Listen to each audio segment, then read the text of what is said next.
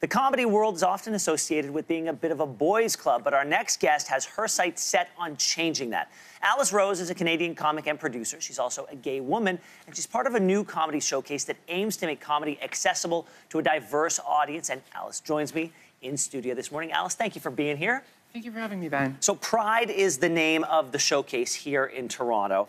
Um, it starts tonight, and the point is to make space as queer artists. But has that traditionally been a hard thing to do in comedy? Uh, absolutely, Yeah. especially in stand-up comedy. I mean, it's been a straight cishet white males game for the longest time. Um, growing up, that's uh, that's who I saw. That's who I looked up to in comedy, uh, and we're definitely looking to change that now. W- What is it about the institution of stand up? Because for, from someone who sits back and loves all types of stand up comedy, I'm, I'm on the other side of it, but there's a mic, a stage, jokes, a spotlight, uh, and, and, then, and then laughs. What, what about the institution is exclusive?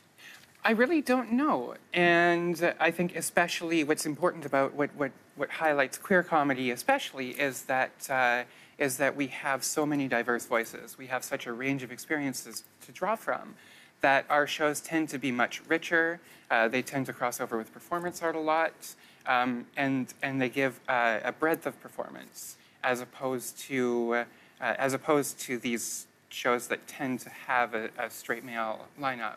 Um, I've been to on countless shows where I'm the only female comic uh, out of out of seven or eight or ten male comics. So we're just looking to change that up. So, yeah, t- tell me a little bit more about your experience within the community, besides being sort of the lone female voice sometimes or the lone gay voice on a stage. Right. Um, it can be difficult because with comedy, of course, we're we're expected to make light of everything. We're expected to challenge perspectives and challenge comfort zones. Um, so when you're uh, a marginalized person, oftentimes, uh, even just attending shows or performing on shows, uh, you can be the subject of another comic's material. You can be the punchline of a joke, and uh, it gets a little tiring over time.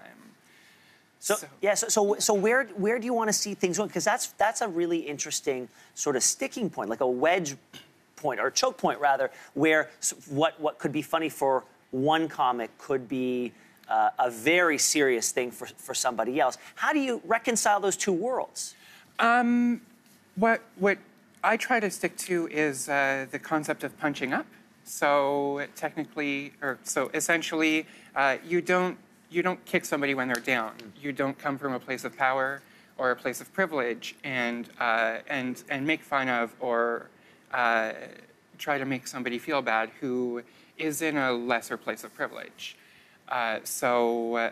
Uh, if you are a performer of color, then you have the experience and you have the, um, the understanding of that community to explore those margins a little better. Have you had have you had those conversations with other members of the co- comic community? All the time, all Yeah. the time. A lot of my stand-up, a lot of my, my material focuses on it. Um, I, I uh, talk about, you know, there are there are uh, there's this trend of rape jokes that that occur a lot. Uh, so when I see that in other shows, I bring my own experiences with sexual assault onto the stage, um, and I try to have a larger conversation about it and really explore that uh, that subject matter in a greater context. Alice Rose, thank you for being here. We wish you the very best of luck. Great, thank you so much.